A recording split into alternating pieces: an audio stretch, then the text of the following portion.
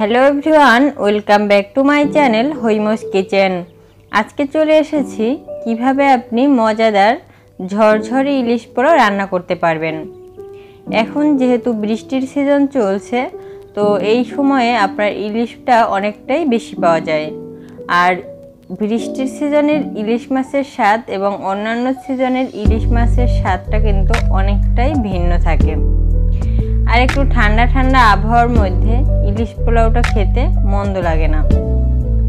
তো ভিউয়ার্স চলুন পারফেক্টভাবে ইলিশ পোলাও কীভাবে রান্না করতে পারবেন সেই রেসিপিটি আজকে প্রথম থেকে শেষ পর্যন্তই না টেনে দেখতে থাকুন।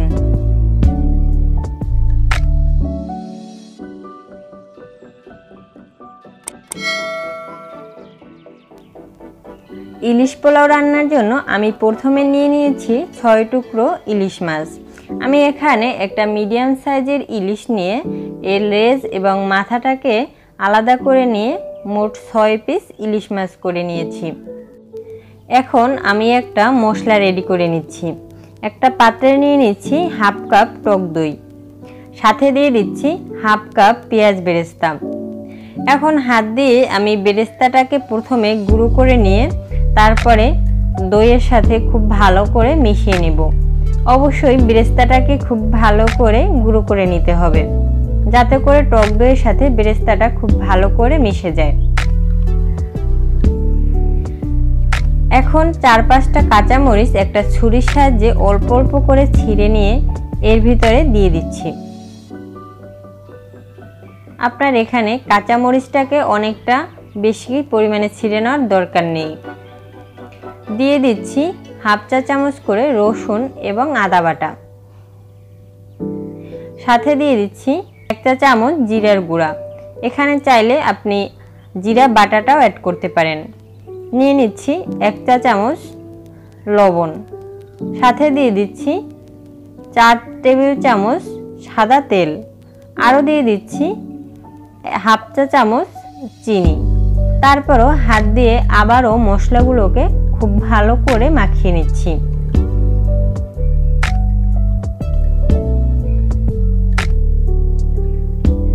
মশলাগুলোকে আমি বেশ কিছু সময় মাখিয়ে নিচ্ছি যাতে করে সব মশলাগুলো খুব ভালো করে মিশে যায়। মশলা মাখিয়ে নেওয়ার পরে আমি এক এক করে মাছগুলোকে দিয়ে দিচ্ছি। ইলিশ মাছের পোলাও তৈরি করেন আর ইলিশ মাছ রান্না করেন বা ভাজি করেন সব কাজেই আপনি খুব আলতো হাতে করার চেষ্টা করবেন, কারণ ইলিশ মাছটা খুবই নরম হয়। এখন আমি হাত দিয়ে মশলাগুলোকে মাছের দুই পিঠে খুব ভালো করে মাখিয়ে নেব, যাতে করে মাছের দুই পাশেই মশলাগুলো খুব ভালোভাবে লেগে থাকে।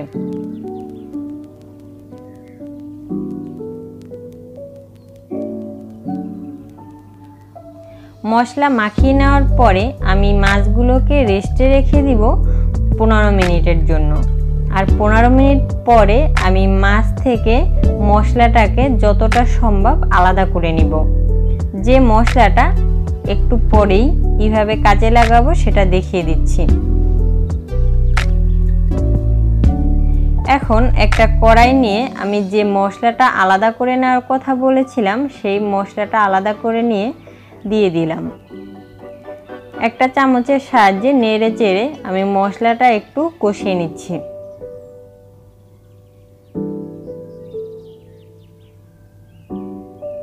যখন মশলাটা থেকে উপরে তেল ভেসে উঠবে, তখন আমি এক এক করে মাছগুলোকে এর ভিতরে দিয়ে দিচ্ছি। ইলিশ মাছ রান্না করার সময় অবশ্যই খুব সাবধানে কাজগুলো করতে হবে। আমি বারবার এই কথাটা বলার কারণ হচ্ছে ইলিশ মাছটা খুবই নরম থাকে। তাই যদি তাড়াহুড়ো করতে যান, তাহলে আপনার ইলিশ মাছগুলো ভেঙে যাবে আর এটা দেখতেও ভালো লাগবে না। এখন একটা ঢাকনা দিয়ে তিন চার মিনিটের মতো রান্না করলাম। তারপরে ঢাকনাটা তুলে আমি মাছগুলোকে একটু নেড়ে চেড়ে দিচ্ছি। যাতে করে মাছের নিচে পোড়া না লাগে। এভাবে আরও এক দেড় মিনিট একটু রান্না করে নিয়ে মাছগুলোকে খুব সাবধানে আমি উল্টে নিচ্ছি।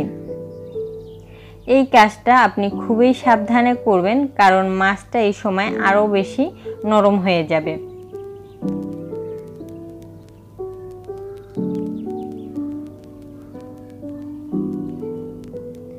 আর মাছটাকে অতিরিক্ত ভাজার দরকার নেই। তাহলে মাছের নিচে পুড়ে যাবে আর মাছের যে একটা আলাদা স্বাদ থাকে, সেটা কিন্তু নষ্ট হয়ে যাবে। মাঝে মাঝে আপনি কড়াইটা ধরে একটু নেড়ে চেড়ে দিতে পারেন। তাহলেও মাছগুলো নিচে লেগে যাবে না আর পোড়া লাগারও সম্ভাবনা থাকবে না। এখন দিয়ে দিচ্ছি অল্প একটু পানি। পানিটা অ্যাড করার কারণ হচ্ছে মাছটাও একটু সিদ্ধ হবে, আবার এটা পোড়াও লেগে যাবে না। ঢাকনা দিয়ে রান্না করে নিলাম প্রায় তিন চার মিনিট। তারপর আবারও মাছগুলোকে একটু নেড়ে চেড়ে নিচ্ছি। নেড়ে চেড়ে নেওয়ার কারণ হচ্ছে মাছগুলো যাতে নিচে না লেগে যায়। আরও তিন চার মিনিট ভেজে নেওয়ার পরে মাছগুলোকে আবারও একটু উল্টে নিচ্ছি। এভাবে করে আমি মাছগুলোকে প্রায় দশ থেকে পনেরো মিনিটের জন্য ভেজে নিয়েছি। এতে করে মাছটা অনেকটাই সিদ্ধ হয়ে যাবে এবং মাছটার দুই পাশটাই একটু হালকাভাবে ভাজা হয়ে যাবে।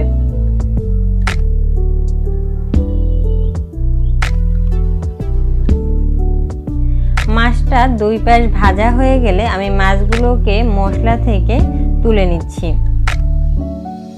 আমি আবারও বলছি, মাছগুলোকে উঠানোর সময় খুব আলতো হাতে উঠিয়ে নেবেন, যাতে করে আপনার মাছগুলো ভেঙে না যায়। মাছ আর মশলাটাকে আলাদা করে নিচ্ছি। আমি এই মশলাটাকে একটু পরে ব্যবহার করব। মাছ আর মশলাটা আলাদা করা হয়ে গেছে, এখন আমি এই পাত্রটা এক সাইডে সরিয়ে নিচ্ছি। চুলায় আরও একটি বড় পাত্র বসিয়ে দিয়ে এর ভিতরে দিয়ে দিচ্ছি পাঁচ থেকে ছয় টেবিল চামচ সাদা তেল। দিয়ে দিচ্ছি দুই তিন টুকরো ছোট দারচিনি। সাথে দিয়ে দিচ্ছি আট থেকে দশটির মতো গোলমরিচ এবং ছয় থেকে ষাটটি লং। সাথে দিয়ে দিচ্ছি দুটো তেজপাতা। তেজপাতা দুটোকে আমি একটু ছিঁড়ে নিচ্ছি।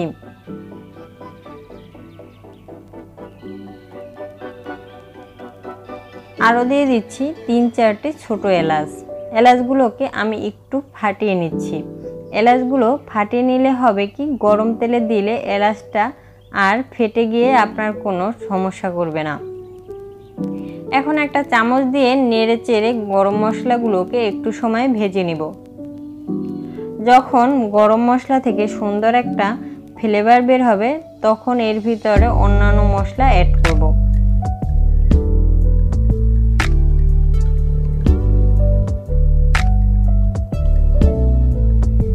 আমার গরম মশলাগুলো ভেজে নেওয়া হয়ে গেছে। এখন আমি এর ভিতরে দিয়ে দিচ্ছি আধা কাপ পেঁয়াজ কুচি। পেঁয়াজটাকে একটু ভালোভাবে কুচি করে নিতে হবে।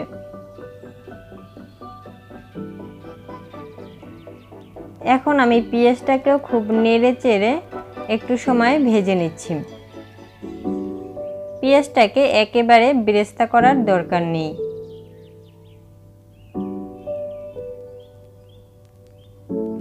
পেঁয়াজটা যখন হালকা বাদামি কালার চলে আসবে, তখন দিয়ে দিচ্ছি পরিমাণ মতো লবণ। আপনি যতটা চাল নেবেন, ঠিক সেই পরিমাণ মতো আপনি লবণ অ্যাড করবেন। লবণটা অবশ্যই আপনি আপনার স্বাদ অনুযায়ী অ্যাড করবেন। কারণ সবাই একরকম লবণ খেতে পছন্দ করে না। এখন এর ভিতরে দিয়ে দিচ্ছি আড়াই কাপ চাল। আমি এখানে সুগন্ধি চিনি গুঁড়া চালটা ব্যবহার করেছি। আর আমি চালটা ধুয়ে বেশ কিছু সময় এর পানি ঝরিয়ে নিয়েছিলাম। পোলাওয়ের চালের পানি ঝরিয়ে নিলে হবে কি, আপনার পোলাওটা অনেকটাই ঝরঝরা হতে সাহায্য করবে। এখন একটু নেড়ে চেড়ে এর ভিতরে অ্যাড করছি যে মশলাটা আমি বাকি রেখেছিলাম মানে মাছ ভাজার পরে আমি যে মশলাটা রেখে দিয়েছিলাম প্যানে, সেই মশলাটা দিয়ে দিচ্ছি। আরও এর ভিতরে দিয়ে দিয়েছিলাম হাফ চা চামচ করে আদা এবং রসুন বাটা, যেটা আমি ভিডিও ক্লিপ নিতে ভুলে গিয়েছিলাম।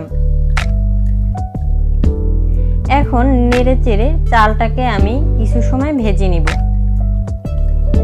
পোলাওর চালটাকে অবশ্যই একটু ভালো করে ভাজতে হবে, না হলে পোলাওর চালটা খুব ঝরঝরে চিন্তাও করা যাবে না। আর এটা আপনাকেই বুঝতে হবে যে ঠিক কত সময় চালটাকে ভেজে নিতে হবে। যখন চালটা থেকে খুব সুন্দর একটা ফ্লেভার আসবে আর চালটা একটু কুড়মুড়ে কুড়মুড়ে শব্দ হবে, ঠিক সেই পর্যায়ে অ্যাড করে দিচ্ছি সাড়ে চার কাপ গরম পানি। সবসময় পোলাও রান্নার জন্য গরম পানিটা ব্যবহার করার চেষ্টা করবেন। তাতে করে পোলাওটা যতটা ঝরঝরা হবে এবং পোলাওটা খুব তাড়াতাড়ি সিদ্ধ হতেও সাহায্য করবে। একটা ঢাকনা দিয়ে রান্না করছি। বেশ কিছু সময়।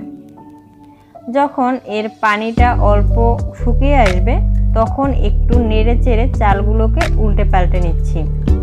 আর ঠিক এই সময় আমি এর লবণটাও চেক করে নিব। তারপরে আবারও কিছু সময় রান্না করে নিলাম। দেখুন, এর পানিটা অনেকটাই শুকিয়ে এসেছে। আমি এই পর্যায়ে পোলাও চাল এখানের চালগুলো থেকে প্রায় অর্ধেক ভাত একটা প্লেটে উঠিয়ে নিচ্ছি। তারপরে ভাতটাকে একটু চামচ দিয়ে সমান করে নিচ্ছি। এর উপরে আমি যে মাছগুলো তুলে নিয়েছিলাম, সেই মাছগুলোকে খুব সাবধানে এক এক করে দিয়ে দিলাম। এখন মাছগুলোকে আপনার পোলাওয়ের ভাতের উপরে খুব ভালো করে ছড়িয়ে নিচ্ছি।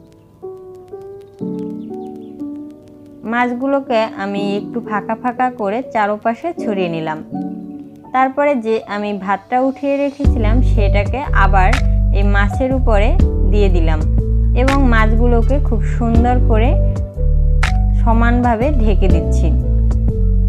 আমার ভিডিওটা দেখে বোঝার চেষ্টা করুন আমি কাজটা ঠিক কীভাবে করেছি। আর এভাবে করলে আপনার মাছটাও ভাপে সিদ্ধ হয়ে যাবে, আর আপনার ভাতটাও খুব ঝরঝরা হবে। দিয়ে দিলাম চার পাঁচটি আস্ত কাঁচামরিচ। সাথে দিয়ে দিলাম এক চামচ ঘি। যেটা আপনার পোলাওয়ের ঘেরানটাকে আরও অনেক বাড়িয়ে দিবে। এরকমভাবে আমি দমে রান্না করে নিয়েছি প্রায় পনেরো মিনিটের জন্য। তো ভিউয়ার্স দেখুন আমার ইলিশ পোলাওটা একেবারেই রেডি আমি একটা প্লেটে নিয়ে দেখাচ্ছি যে পোলাওটা কতটা ঝরঝরা হয়েছে। আর মাছগুলো কত সুন্দরভাবে সিদ্ধ হয়েছে এবং মাছগুলো ভেঙে যায়নি। সব মাছগুলো এরকম আস্ত থেকে গেছে। তো ভিউয়ার্স, আমার আজকের এই রেসিপিটি যদি আপনার ভালো লেগে থাকে, তাহলে অবশ্যই বাসায় ট্রাই করবেন। আর আমাকে কমেন্টস বক্সে জানাবেন এই রেসিপিটি আপনার কাছে কেমন লেগেছে। আমার চ্যানেলের ভিডিওগুলো যদি আপনার ভালো লেগে থাকে, তাহলে অবশ্যই ফ্রেন্ডস এবং ফ্যামিলির সাথে শেয়ার করতে ভুলবেন না। আর আপনি যদি আমার চ্যানেলে নতুন হয়ে থাকেন, তাহলে এখনই আমার চ্যানেলটি সাবস্ক্রাইব করে নিন। সাথে সাথে লাইক এবং শেয়ার করতে যেন ভুল না হয়। আজকে তাহলে বিদায় নিচ্ছি। আবারও আসব নতুন কোনো ভিডিও নিয়ে। সেই পর্যন্ত ভালো থাকবেন, সুস্থ থাকবেন।